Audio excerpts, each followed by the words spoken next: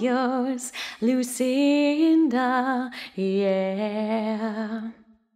One happy birthday dot com.